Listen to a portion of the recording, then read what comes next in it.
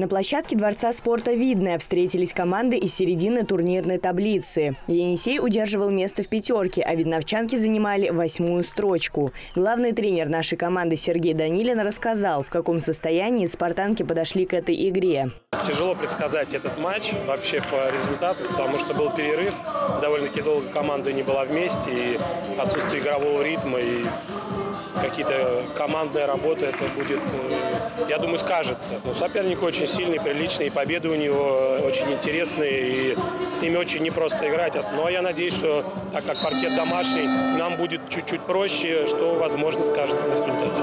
Первая половина матча завершилась результатом 39-18 в пользу «Спарта НК». Болельщики следили за накалом игры, поддерживали наших девушек и ждали развязки. За кого болеете? За «Спартак», за «Спарта НК». Ну, конечно, за наших, за Видное, за «Спартака». Какие ожидания от игры? Ну, думаю, что выиграют, потому что такая большая разница в счете. Надеюсь, выиграют. Очень будем болеть. Как вам игра?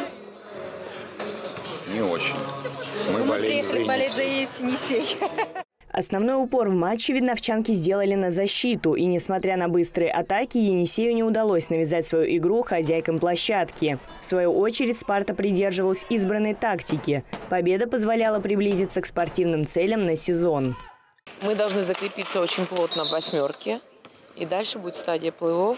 Э, Это наша первая задача.